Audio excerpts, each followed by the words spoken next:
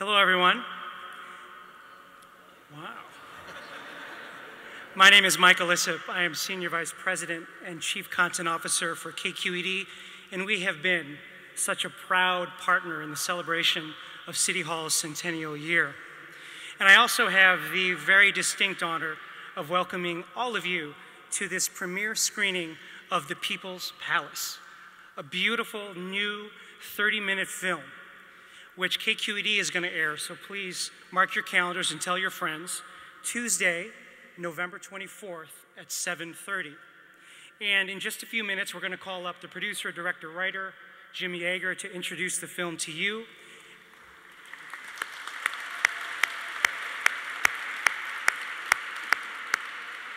And I called it beautiful. Trust me, it is visually stunning, and it also has rare archival footage. But it's not just about this place, it's about people. There are some cameos from some very special people. People like former mayors Dianne Feinstein and Willie Brown. Even people like our chief of protocol, Charlotte Shultz. And even KQED's very own legend, Belva Davis.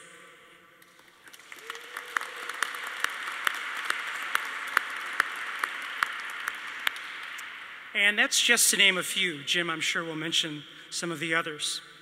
But this film, People's Palace, is not just about the place and the people, it's about moments. And as I'm sure many of you know, City Hall was built after the 1906 earthquake, and it represented the rebirth of San Francisco. And it sits here in the center of our civic and cultural vitality. And moments and events here have not only shaped San Francisco, some of those moments have influenced the world. And I know that many of you, I'm sure that all of you, have very personal, special reflections, feelings, experiences about this place. And for me, it's just one word, and it's wow.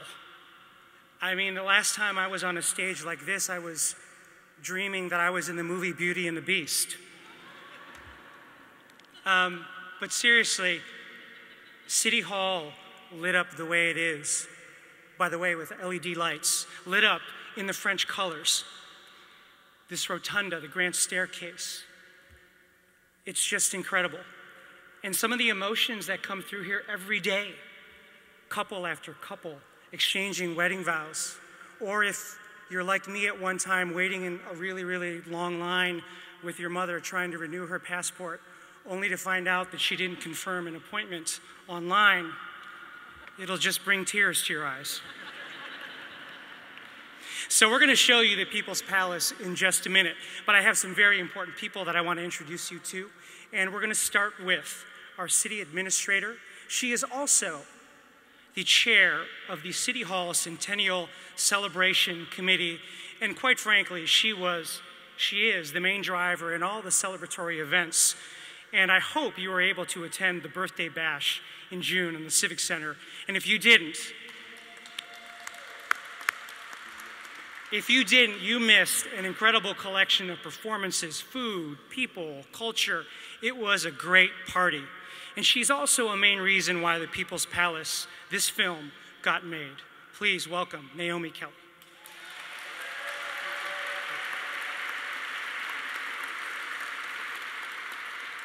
Thank you, Michael, for that introduction, and good evening, everyone. Welcome to San Francisco City Hall and the world premiere screening of The People's Palace. It has been a wonderful year dedicated to our treasured historic landmark. We've spent the past year celebrating City Hall's 100th birthday, and this great milestone became the city's catalyst to incorporate much needed infrastructure upgrades like our external LED lighting system. And the global community noticed this lighting system this past weekend with extensive coverage of City Hall to, as we stood in solidarity with the city of Paris, our sister city. I want to, San Francisco is a world-class, San Francisco City Hall is a world-class building with a storied history for trailblazing policies that have had a global impact. But, but more than just a physical place, it represents ideas. This building's history is intertwined with our city's history, and this documentary captures not just our city's history, and not just the beauty of this Beaux-Arts masterpiece, but how it has been a place that has changed the world. I am proud to showcase the premiere of the People's Palace under the dome of this majestic building. I also need to take time to thank everyone who was part of this. I need to thank, most importantly, Rich and Tanya Peterson, our fundraising chairs. With your generous support, we would not have celebrated the 100 years of this treasured building that it deserves, and I must say, happy birthday, Rich Peterson. I, need, I, would, I would be remiss if I didn't thank Jim Yeager for stepping in to take on this project. What a fabulous way to tell the touching stories behind this iconic building. And thank you to everyone who participated in the film. I want to thank our public and private partners, our City Hall docents, led by Ellen Schumer, and volunteers, our San Francisco archivist, Susan Goldstein, our city librarian, Luis Herrera, friends of the library. Thank you, KQED.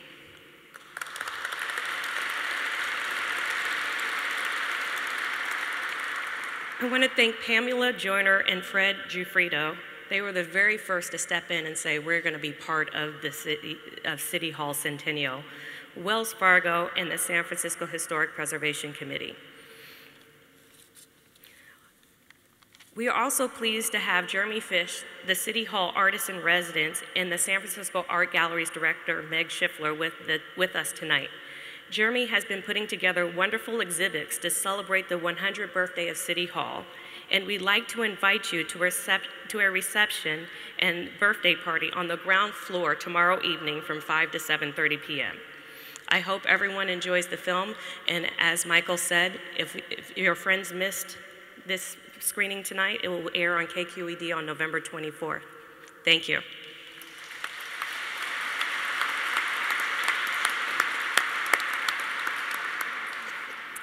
Next up, I'm going to call up two people.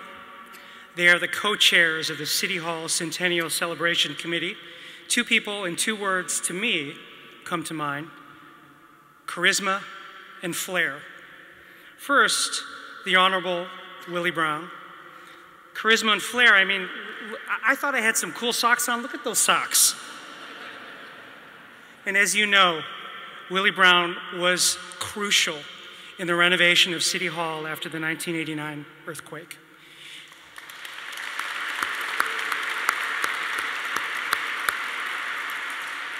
And joining Willie as he comes up here is, and not to be outdone with charisma and flair, is the woman who, when international dignitaries come to this city, she is the one that you want welcoming them to San Francisco. She's our chief of protocol, Charlotte Shultz.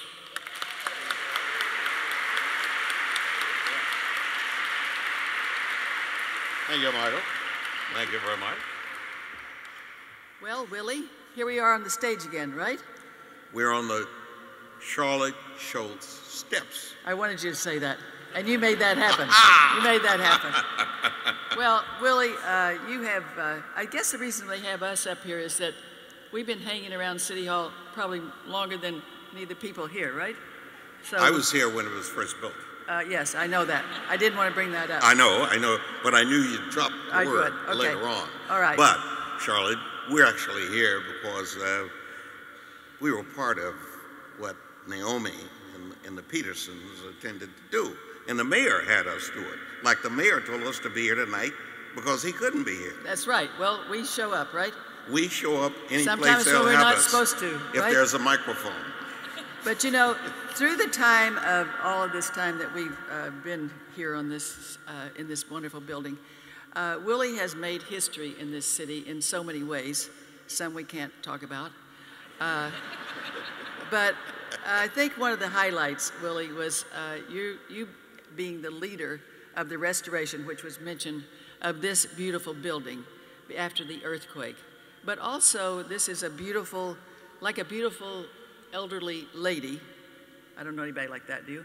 Anyway, some of them need a little nip and tuck, And so, along with restoring the city hall after the earthquake, you did a lot of nipping and tucking, and you're a good guy to think think through nipping and tucking for whatever. So thank you for what you did. So why don't you tell why don't you tell us how you did that? And don't forget about the go, the dome. That's my favorite part. Well, okay. And in, reality, Charlotte, this was a team, a real team effort, uh, because when we took over the mayor's job, uh, we were like over at we. we were over at 401 uh, Van Ness, Right. and I couldn't figure out why would I get elected to be in a place like that when I'd left such a grand capital. Not as grand as this building now is, but this building was in total disarray. And so our job was to come in here and do something about it. And we had to recruit lots of people because it was totally and completely underfinanced. And you can't do anything in city government without having the money already in the bank, Oh yeah. or you have to lie. Is that right? And having a license as a lawyer, I was already equipped to do that. So, so, so it was, it was, it was a great challenge to first recruit a collection of people who would make sure that uh, what we were doing it was okay to do. So we got Louise Renne, we got uh, Barbara Kaufman, we got a whole host of other people, and they did a good job of being giving us assistance. Yeah, but you were the leader to make that Yeah, happen. but late Don Fisher was just as good and all of that. And then we had to give the supervisors some additional space. Uh, they needed it, and you know, and we had to was that reduce- inside the building or out? outside. We, and we had to reduce how many other city agencies would be here because you want to open up the light courts, which you see on each side. You want to make all those things work. And we did all that. And all of a sudden, the place was ready to be beautiful, except the cap, the dome up there was not right. It had not been damaged in the quake. And you can't do anything with public money in which there wasn't some damage from the quake. And, you know, it was, it was interesting how we did the interior of this. Uh, uh, there was uh, some people working here, and they did something with a torch or something, and they called and said, oh, Mr. Mayor, there is a fire. I said, where is it? They said, it's in the dome. I, I said, uh, I said, when did it start? They said, about two minutes ago. I said, well, you call the fire department in about 15 minutes. And that way we got the dome, the interior of the dome done. Uh, I didn't want to risk those far, but, but then the exterior, Yeah, that, the goal a, that yeah, we needed. I like that part. Oh, yeah, the goal that we needed in order to make this whole place as magnificent as it is. Uh, San Francisco has this crazy rule that when you build a building in this town, a commercial building and what have you, you have to have a small amount of your investment has to be in art. And it has to be so that the public can enjoy that art. right. And a fellow named Jeffrey Heller came to see me raising unholy hell. These architects are really weird people. They don't want anybody telling them what to do. And he didn't want anybody to tell him what to do in the building. So I sat there and listened closely. And when he finished, I said, Where's your building? He told me where his building was. I said, You have a requirement on art? Yeah. I said, Suppose the money you were going to spend on the art in your building was spent where you could see it. He said, I'd go for that. I said, perfect. You're going to put the gold on the dome. Yes. And that will allow you. And besides that, your permit will get approved quicker. and so the results are the People's Palace has a gold dome, as it was when Arthur Brown and his crowd first did this building. When you were here. That was, we did it together. Uh, and that's part of the nip and the tuck. Yeah. And believe me, we were criticized, if you remember. The Chronicle, the paper that I currently work for, was just horrible. They really went after us. On, and the day we opened, thousands of San Franciscans showed up to indulge in the glory that's all Right. this place. Right. All of a sudden, this became everybody's baby. And there's not been one word of criticism since then. That means, you know, if you're doing something like we did, it turns out that it is the People's Palace. Oh, that's great, Willie. Well, this is the People's Palace, and obviously it's open to all of San Franciscans uh, throughout the year, throughout time. But you know, this also is a place, uh, and Willie, you've helped with this very much. Uh, we are an international city, and people like to come here, uh, all kinds of people, but also heads of state, uh, ambassadors, dignitaries, uh, delegations, and they come here for us to give them hospitality and to showcase our City Hall and our government. So uh, many of those have been here. So if I could give you a couple of examples, okay? Charlotte, one of them Yeah? that you didn't cover. The Nobel I haven't even Prize started yet. The Nobel Prize I was getting there. That was incredible. I, I'm just holding out because I'm still looking for the Nobel Prize. Oh, and what Willie is referring to is that one of the events we had was coming down this grand staircase as they do at, do at the at the Nobel Prize uh, in, in Scandinavia. They came down, and we are blessed. We are blessed with all the institutions here that we have for knowledge, and that is Stanford and Cal and other universities. And we had, what, 40 Nobel Prize winners uh, that are living in this area to honor here. And the uh, Princess of uh, Sweden was here. She's next, the, she's in line to be the Queen and presented those. So that was in Willie's time.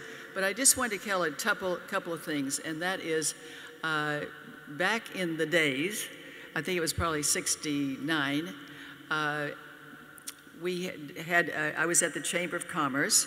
See somebody here from the Chamber of Commerce, Jim Lazarus, right? And uh, so the, the uh, King of Norway was coming. And so people said, you know, where are we going to have this? Too bad we don't have a palace. I said, we have a palace. They said, Where? I said, At City Hall. And they said, Yeah, but people are lying in state. And I said, Well, we're going to tell them to scoot over, roll over, and we're having an event. So I went to uh, the mayor at that time, uh, the 69. That must have been uh, that, uh, uh, that uh, Italian guy. Yeah. So I, so I went to him and I said, Okay, here we're going to do this. People will come down the grand staircase. There'll be tapestries, there'll be music, there'll be all kinds of things, beautiful food at a lunch. So he said, Great, do it. So I said, One little problem.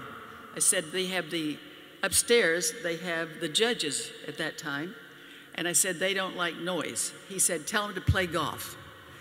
And I said, With all due respect, would you tell them to go play golf, please? So anyway, that sort of started uh, many different things that we had. And one short or short story, hopefully for you, all of you, so we can see the film, is that when Dianne Feinstein was mayor, uh, the uh, China had opened up. Uh, yes, uh, President Reagan. He, the, the, Reagan was the president, and so the premier of China was coming, the first leadership to come to the United States. So he's coming to San Francisco first. I want to tell you that the White House, the State Department, is that right, sweetheart? George Shultz? We're really worried about us because they worry about San Francisco, right? What we're going to do. So we had the premier of China coming down this grand staircase. Is the fire chief still here? Because we had about 8,000 people here. Uh, and we had the, the Chinese flags, we had music, we had uh, the symphony orchestra had a violinist that was Chinese American, etc. It was fantastic. So, anyway, we did it. The premier went on to Washington. A few days later, I got a call from Mike Deaver, you know, the assistant to the president. Yeah. And he said, Charlotte, there's good news and bad news. And I said, Well, I like, I love good news. So I said, What's the, what's the good news? He said, Well, the premier had dinner with the president at a state dinner at the White House. And I said, Well, you know, you got to eat somewhere. And so I said, Well, what is the bad news? And he said, Well, the premier said to the president, the best part of this trip was San Francisco. so, anyway, As Naomi said, the lights are shining. People are invited that are from all over the world, as well as the people in San Francisco, to the People's Palace. But don't we like to call it the uh, Palace for the People? Yeah, Palace. for We like People. that. Okay. That's What that- because Berkeley had the People's Palace. Uh-oh, where's that? so anyway, Foreign country. uh, I guess that they're going to do a film. It's the there. film, Oh yeah, and we're in it. fantastic. Okay, thank you. Thank you.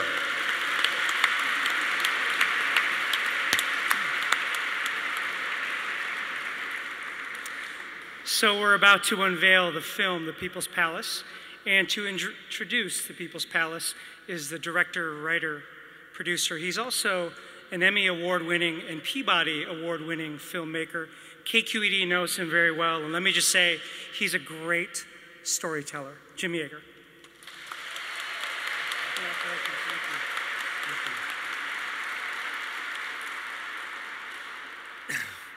Well, you can see why I would have such a great time telling a story about City Hall with characters like this. First of all, before I start, I just want to say I'm used to being on the other side of the camera, so I'm a little bit nervous. So I hope you'll bear with me. First of all, thank you all for being here. I hope you'll enjoy the film. And one of the best parts of doing a film like this actually is being able to have a night like this to bring people in and to see their reactions to the story that you're telling. And what better place for this story than right here under this dome? My editor, who's here tonight, Jim Spadoni, and I had a wonderful time collecting all the archival images, some of which don't get seen very much, and the footage that's very rare. And it really brings the story and brings the history to life. And I guarantee that you'll never look at this staircase quite the same way again after you see the film tonight. Right, Charlie? It's also wonderful having such a photogenic main character, other than Mayor Brown. This building is an incredible main character to have for a story. And my director of photography, Bill Corona, and I had a wonderful time getting into all the nooks and crannies and getting all the angles that you don't see from this particular vantage point. And I hope you'll appreciate it. One of the vantage points was on a boom crane 120 feet up on Polk Street uh, at 6 a.m. early one weekday morning. It was a little scary, but we got some great shots. These kinds of projects don't happen without the help of a lot of people who are really pulling for you. And we had a lot of people who are pulling for us through this project. Susan Goldstein and her staff from the History Center at the library got us wonderful material to use. Uh, Rob Ryder, who uh, helps run this building, got us into all the places and got us great access. Uh, Ellen Schumer, who is, I call her the grand dame of this building because anything you want to know about the history, she can tell you. And she made sure I got it right.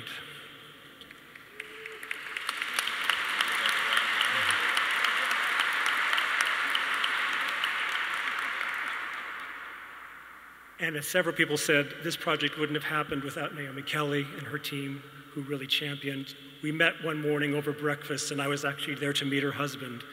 And she says, Oh, you know, you don't need to meet my husband. I have a project for you. And that's how it all started.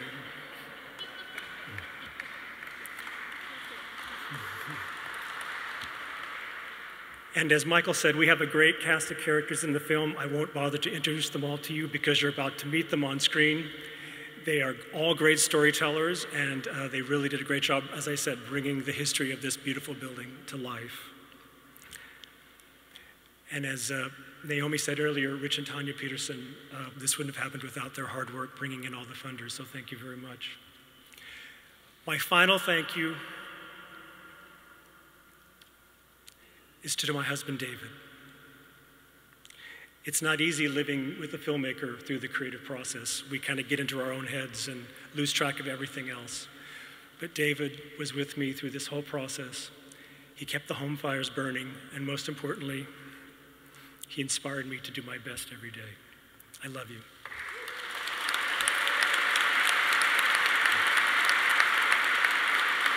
So, I think that's enough talk. Thank you very much. I hope you enjoy the film.